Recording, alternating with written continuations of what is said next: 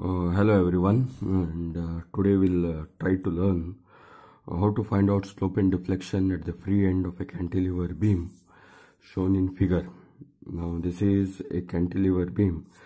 Previous videos what we had learned was a cantilever beam subjected to a single point load at the free end wherein the slope and deflection were calculated and the deflection that was calculated was WLQ by 3i and uh, slope that was calculated was WL square divided by 2EI.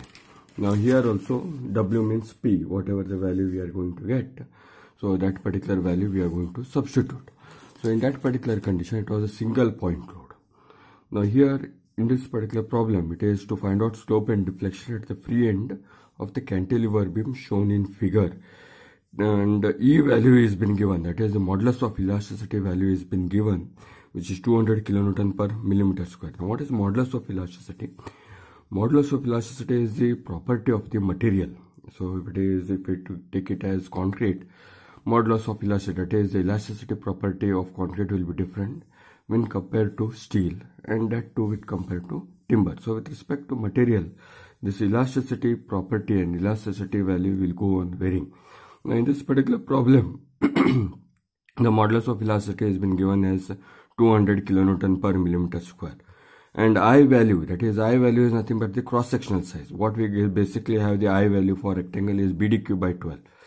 B and D are classified as the cross section of an element. So whatever the substitution of B and D if we take, supposing if the cross section size of the beam is 230 by 300, then what we do is 230 into 300 cube divided by 12. So as a resultant, we get the value of I which is nothing but the moment of inertia. So these are the two values which have been given which is 200 kilonewton per millimeter square and I is 1.68 into 10 to the power of 8 millimeter to the power of 4. So these are the two values and for which this is the cross section. Now when I mention it is a cantilever beam and the uh, problem statement when it is mentioned as a cantilever beam, this is a cantilever beam wherein A is being fixed. That is always for cantilever beam, one end will be fixed, the other end will be free. So A is fixed here and B is free. It is subjected to two point load that is 20 and 10 kilonewton load. The distance between A and B is been given as 4 meter and intermediate distance is also been given as 2 meter. So the point to be noted here is A has a support, C doesn't have a support and B doesn't have a support. So obviously we will be going to calculate slope and deflection at point B here because it has been mentioned as free end. Free end means at point B. We are going to calculate slope and deflection at point B. So what we will be calculating is theta B and delta B. So theta B will be called as slope and delta B will be called as deflection. So that is what we are going to calculate slope and deflection at point B. So before proceeding to the solution, so we need to ensure that there should be an uniformity in respect to the units that we are going to follow. So all units which have been given in the statement of the problem, all loads are in terms of kilonewton and all distances are mentioned in terms of meter. So for that reason, here we are going to convert this in terms of kilonewton per meter square. Given unit is kilonewton per millimeter square, we need to convert it as kilonewton per meter square. So if we rewrite this, E is equal to 200 kilonewton per millimeter square. So kindly check out the prefixes that we used to use. 10 to the power of 0 is 1 as per law of indices. So 10 to the power of 3 is kilo. 10 to the power of 6 is mega. And 10 to the power of 9 is giga. Likewise 10 to the power of minus 3 is milli. 10 to the power of minus 6 is micro and 10 to the power of minus 9 is nano. So same thing here if we check out kilo will keep it as it is because given load is in terms of kilonewton. Whereas millimeter square we need to convert it as meter square. Here it is in terms of meter so we need to convert it in terms of meter square. For that reason 200 kilo we shall keep it as it is. Milli and meter square will separate now. Milli means what? Look back here. Milli means it is 10 to the power of minus 3. So it is 10 to the power of minus 3 whole to the power of 2 meter square because it is millimeter square. So I am going to make it as whole to the power of 2. So 200 kilonewton per divided by 10 to the power of minus 3 whole to the power of 2. So it will be 10 to the power of minus 6 meter square. So reframing this, this will be 200 into 10 to the power of 6 kilonewton per meter square. Now we have kept this as it is. That is, E is in terms of kilo, is in terms of kilonewton and distance is in terms of meter. This is fine now. Now next task is to convert I value. Now, to convert I value, I is equal to 1.68 into 10 to the power of 8 millimeter to the power of 4. Now again the same procedure that we had followed for the earlier step. We'll go to follow the same thing now. 1.68 into 10 to the power of 8 millimeter. No, milli means it is 10 to the power of minus 3. Now here earlier problem it was 10 whole to the power of 2. Here it is whole to the power of 4 now. Meter to the power of 4. So as a resultant 1.68 into 10 to the power of 8, 10 to the power of minus 12. 3 into 4 will be minus 12 meter to the power of 4. So here as per law of indices 10 to the power of 8 and into 10 to the power of 10 to the power of 8 and 10 to the power of minus 12. What will happen? 8 minus 12 will be 10 to the power of minus 4 meter to the power of 4. So this is the value of i. Now when we multiply here ei because ultimately what we are going to do is we are going to draw m by ei diagram. For that reason we are going to multiply this. When we multiply 200 into 10 to the power of 6 into 1.68 into 10 to the power of minus 4. So this will result in the calculation as 200 200 into 1.68 which will be 336 into 6 minus 4 will be 2. So this will be kilonewton meter square because this is in terms of kilonewton per meter square meter to the power of 4. So in the numerator it will be kilonewton meter square. This is what is the value of EI. At the end of the solution we are going to substitute. Not at the beginning. At the end of the solution we are going to substitute this particular value. So which indicates all values that we are going to calculate for distances will be in terms of meter and all angle calculation will be in terms of radians. So if we remember the five seven step procedure that we had followed in the earlier in the earlier uh, uh, session first step is to draw elastic curve next step is to draw bending moment diagram what you call it as? M diagram. Next is to draw m to convert m to m by ei diagram. That is conversion from bending moment that is m diagram to m by ei diagram. Next we need to draw conjugate beam. So conjugate beam basically is an imaginary beam now. Now what is this imaginary beam? We need to modify this particular beam based upon our requirement. The based upon our requirement means here we have a free end that is nothing but uh, slope b we need to find out. There we need to indicate uh, reaction component. To find out deflection we need to indicate moment now. So what it says is conjugate beam. To find out the slope to find out slope we need to find out the shear force at that corresponding section. To likewise to find out deflection we need to find out moment at that particular corresponding section on the conjugate beam. And here on the conjugate beam the given loading that is not this particular loading is given loading given loading will not be the load that will be specified. M by EI diagram will be the load that will be specified or that will be taken into consideration for calculation on the conjugate beam. Then superimposition. Superimposition of m by ei diagram as load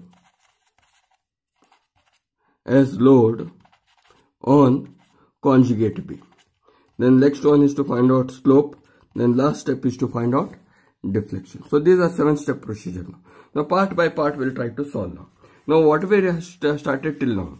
First we calculated V. So E was to be converted in terms of meter square. It was in terms of millimeter square. To convert this, we substitute milli as 10 to the power of minus 3 based upon these particular prefixes. Then I was also to be converted in terms of meter to the power of 4 as all distances are in terms of meter. So as a resultant, after conversion, this particular multiplication value, now this particular multiplication value will be substituted at the end of the solution, not at the beginning, it will be substituted as the end of the solution. So as it is in terms of meter, the deflection value what you are going to get will be in terms of meter and angle will be measured in terms of radians and not in terms of degrees. So to begin with, so first is to draw the elastic curve. To draw the elastic curve, as the load has been placed on the top fiber, the load will be allowing that uh, will make that particular object to move in the downward direction. So this deformation will be an hogging form of deformation. This is this is what is called as the elastic curve. Now initially the beam will be straight. As you go on in, uh, uh, imposing the load, the beam will deform in the downward direction. So this is what is the bending pattern of this particular beam. This itself will be called as the elastic curve. Now we'll try to draw the elastic curve. If you draw the elastic curve, the beam will deform in this particular downward direction. And this particular distance is called as delta B. And when you draw a tangent here, this angle will be called as theta B. So we are going to find out delta B and theta B. That is what is slope and deflection at B now. So first step is over now. So that is calculation, that is drawing the elastic curve is over. This particular part is over now. So first step is over. Next step is to draw the bending moment diagram. To draw bending moment diagram, to draw bending moment diagram, you can take first as moment at B will always be 0 because it is a free end of the cantilever beam. Moment at B will be 0. Moment at C, consider a right hand side section now. If you consider a right hand side section, C is here, B is here. At B you have a point load here and the magnitude of the point load is 10 and the distance between C and B is 2 meter. So moment at C when I write, this particular load, 10 kilonewton load will try to rotate in clockwise direction. So it will be 10 into 2 which is 20 kilonewton meter. That is moment at C will be 20 kilonewton meter when I take the right hand side section. There is no harm even if you take the left hand side section if you happen to take the left hand side section, you need to calculate all the reaction component available at A. So all the reaction component available at A will be VA, HA and MA. So finding out those particular values will consume much amount of time in computation of the reaction component. For that reason, and the number of forces will also be more on towards the left hand side. The complexity is much more on the left hand side as compared to the right hand side. For that reason, the section that has been adopted is the right hand side section. When I say right hand side section, it is to your right. So this section and the load that will be pertaining to the right hand side section is point C and point B. To the left hand side is point A and reaction at A on towards the left hand side. If I take a right hand side section, point C and B are available and 10 kilonewton load will rotate in clockwise direction. So 10 into 2 will be 20 kilonewton meter. Likewise, if I take again right hand side section to calculate the moment at A now. Moment at A. A point is here, C is here and B will be here. So 20 kilonewton load here and 10 kilonewton load here. Moment at A will be 20 into 2 because distance between A and C is 2 meter plus 10 into 4 because distance between A and B will be 4 meter. So basically whenever I mention this particular point on the left hand side, if I mention A, A will be the origin. With reference to A, what how far is the other distances, that is other load distances that we need to measure. If I say A, then A will be the origin. At A, origin A will be 0, comma 0. At this location coordinate will be 2, comma 0. Whereas at this location coordinate will be 4, comma 0. As it is force along y direction, it will be multiplied with x coordinate. And x coordinate is 2 meter. So it will be 20 into 2 plus 10 into 4. So this will be 40 plus of 40. 20 into 2 will be 40. 10 into 4 will be 40. So moment at A will be 80 kilonewton meter. So this will be the points or this will be the moment values at point A and at point C. The same thing we need to draw this as a bending moment diagram. To draw this as a bending moment diagram, we need to draw parallel lines here. So first line will be a line related to M diagram. Second line will be a line related to the conversion to M by EI diagram. Then next line will be a line related to the conjugate beam. Then lastly a line related to the superimposition of conjugate beam with M by EI diagram. So everybody draw this particular line parallelly to each other. First line, first is first diagram is a diagram with a real beam and the given loading. Second diagram will be a diagram what we call it as the M diagram. Next diagram will be a diagram what we call it as M by EI diagram. Next line, next diagram will be a diagram what we call it as a conjugate beam. CB means conjugate beam. next diagram will be a conjugate beam and plus elastic loading. Elastic loading means plus M by EI diagram. So this particular diagram we are going to refer for the calculation of shear force and bending moment. Now as written as calculated here moment at C is 20. So at C mark this particular point either towards below the beam or above the beam. The marking below the beam and above the beam is all dependent upon what type of bending pattern it follows. If the bending pattern had to follow a sagging, then you are going to mark it above the beam because it is positive. If your bending pattern is hogging, you are going to mark it below the beam because it is negative. So here, since this 20 kilonewton load, as this particular beam hogs, you are going to mark it below the beam. Similarly, this 80 is again to be marked below the beam. So this here it is 80, here it will be 20. Now you can join it in the form of a straight line. Why straight line? Because 2 is to the power of 1, 4 is to the power of 1, 2 is to the power of 1. So this will be x is to the power of 1. x means what?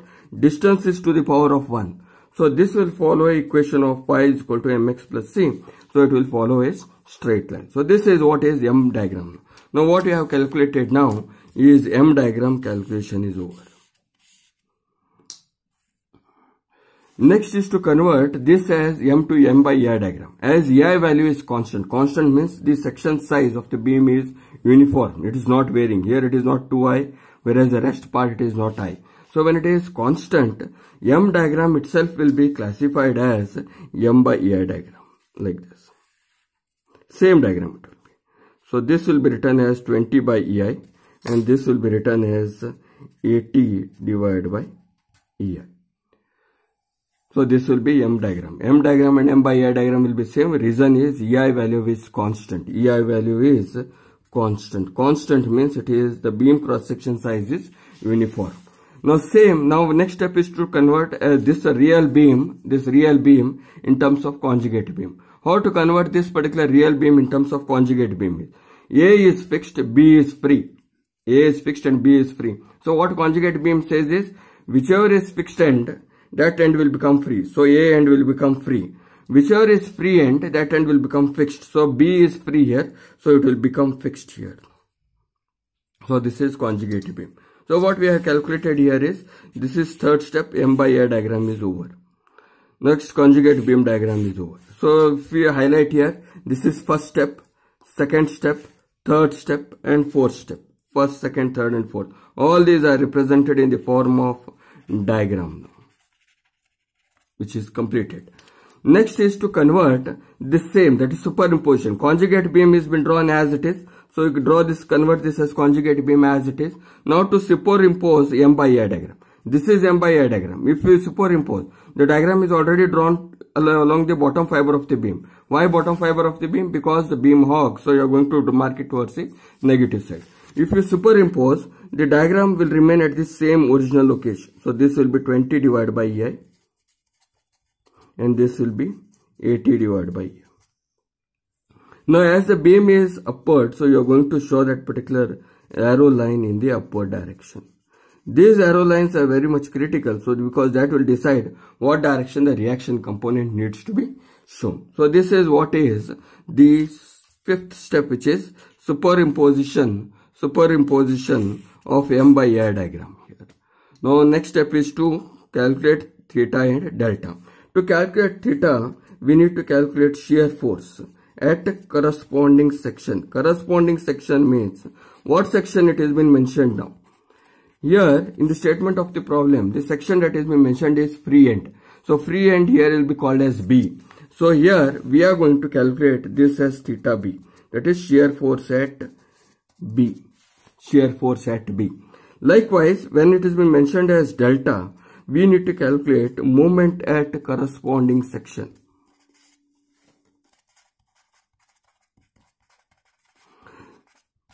So when I mention moment at corresponding section, it should be called as delta. Where it needs to be calculated? It needs to be calculated at deflection. Deflection at free end. Again, deflection at free end. So it will be called as delta B. So delta B will be moment at B. These all are moment at shear force at B on conjugate beam. and moment at B on conjugate. So that itself, these are the parameters related, these are the parameters related, these are the parameters related to the real beam. These are the parameters related to the conjugate beam. So whatever the reaction component that we are going to compute on the conjugate beam, that itself will be related to the parametric values on the real beam. So this is what we are going to start with now. So we will refer to this particular diagram for the calculation of slope and deflection. To begin, I'll redraw this particular diagram. So this is M by EI diagram with conjugate beam. This is point A, point B and point C. Moment at point C is 20 divided by I which is already been calculated. Moment at point A is 80 by I which has been calculated here. Now we are going to calculate reaction at B. Now as the loading is upward, as the loading is upward, reaction has to be in the downward direction. So reaction has to be in the downward direction. To calculate reaction, we are going to impose it in the downward direction. Now likewise, if this particular load is in the upward direction, all upward forces needs to be treated as positive all downward forces need to be treated as negative all right hand side forces to be positive all left hand side forces to be negative. All clockwise rotation to be positive all anti-clockwise rotation to be negative. Now here if you take down here to find out the reaction component at B we'll be making three equations now equations of equilibrium summation Fy is equal to 0 and summation of moment with respect to support is equal to 0 now support has been provided at B. So we shall call it as moment with respect to B is equal to 0. Now to start with, we'll find out summation Fy is equal to 0. If you make use of summation Fy is equal to 0, here VB is downward, so minus VB. Loadings are upward here. Now here, this is not an uniform loading here. This is an uh, the, the slope of this particular line is not uniform. It is non-uniform. Reason? Because we have two different loads here. Previous problem it was a single point load. So when it was single point load, the slope was gradual and uniform. Since it has an, a non-uniform loading, at this particular junction, wherein if you take this particular diagram here, on the larger scale, 20 has been placed here, 20 divided by A. And 80 has been placed here, 80 by A. At this particular position, 20 divided by A, you draw an horizontal line here. So if you draw an horizontal line here, this particular whole section is been divided into two parts. First part will form a rectangular section of height 20 by EI and second form will be forming a triangle of height 60 by A. How 60 by A? Total height is 80. Amongst 80 if you take out 20, so this will be 20 by A and 60 by A. Again returning back, the whole height will be 80 by A.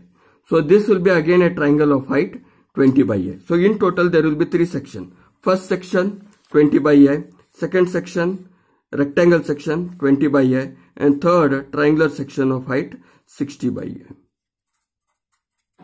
So this is 20 by A, this is also 20 by A. So below this, this is 20 by A, 20 by A rectangle and this triangle is 60 by A. So we will refer to this particular diagram for the calculation of the reaction component. So to calculate this, first force is upward. So upward force positive half 20 by EI and the base of this is 2 meters because distance this is C, this is C, A, A, C and this point is B. Distance between C and B is 2 meters. So 20, half 20 by EI into 2. This is first triangle. Then plus second one rectangle plus 20 by EI into 2 that is this particular section. Then plus half 20 by EI, 60 by EI. This particular height of the triangle is 60 by EI into 2. So these are the sections now. So if you recalculate this, VB will be equals to, if you reframe, this is all equals to 0. 20 by EI as 2, 2 gets cancels up, plus 40 by EI, 20 into 2 will be 40 by EI. Similarly here also 2, 2 gets cancels up, plus 60 by E. So this will be 100 plus 20 will be 120 divided by EI So this will be the value of VB.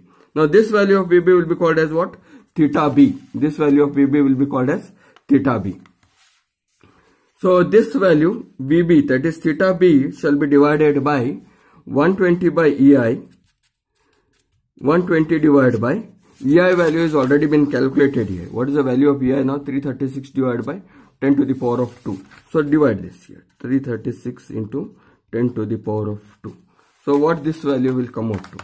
120 divided by 336 divided by 100.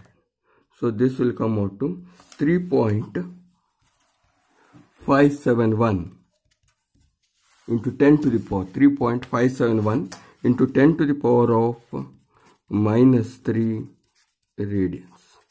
This is the value of this is the value of slope that is 3.571 into 10 to the power of minus 3 radians. So what we have calculated is minus VB as it is force is downward. This is first triangle here. This is first triangle. This is first triangle wherein the base height is 20 by i and base is 2. This is second section which is rectangle 20 divided by EI into 2. This is third section wherein half 60 by EI height of the triangle is 60. After addition it will come out to 80. Base is 20. So as a resultant this is the solution for uh, slope at point B. Likewise we need to find out slope and deflection at B now. To find out deflection it is moment now. Moment means what? All these areas what we have calculated shall be multiplied with the perpendicular distance that is nothing but the centroid distance. Now first section, now from where we need to calculate multiply the centroid distance with respect to B. Now with respect to B for this section, the centroid distance is two-third of base which is two-third of 2. If I separate this section here again, if I separate this section here, this base distance is 2 meter. This is point C, this is point B and distance between C and B is 2 meter. So this will be two third of 2. That is what is center distance. Second section is placed here now and B point is placed here. Now how far is this now? The central distance of this rectangle will be half of base that is B divided by 2 which is 2 by 2. Okay, but we need to calculate with respect to B. So for that reason we are going to add 2 meters. Then the last section. Last section is again a triangle here. That triangle is placed here which is in this fashion which is 60 by I. and base distance is 2 meters. From where we need to calculate from point B. So we are going to add 2 meters. So central distance here will be 2 plus 2 third of base that is 2 plus 2 third of 2. So this is what will be the calculation of the central distance. If we calculate moment with respect to B that is delta B, we need to calculate moment with respect to B and equate to 0. Moment with respect to B and equate to 0.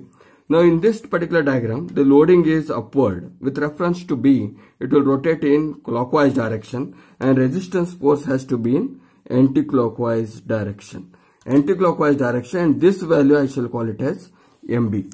So anti-clockwise direction will be called as minus MB. Okay. Now point B is here with reference to B, this UVL, that is uniformly varying load, shall rotate in anti-clockwise direction. Uniformly varying load will rotate in anti-clockwise direction. So plus half into base of the triangle is 2, height is 20 by EI. Now here only change is we need to multiply area multiply by x bar with respect to point B. So here x bar from point B, what we have calculated here is 2 third of 2. This is for the first section. What is this? This is for the first section. First section. Likewise, second section here which is rectangle. Again, as the load is upward with reference to B, this triangle that is this rectangle will try to rotate in the and uh, clockwise direction and which will be this will rotate in clockwise direction. So plus as this will form uniformly distributed load, height is 20 by EI, 20 by EI multiply by 2. 20 by i multiply by 2. Centroid distance will be. What should be calculated with reference to b now? For that reason, 2 plus 2 divided by 2. Then third section here. Third section will be plus half 60 by ei plus half 60 by ei into 2 into 2 plus 2 third of 2. So this will be the calculation. Now if you check out, this is second section, this is second section and this is also the second section. This will be third section, this will be the equation for the third section.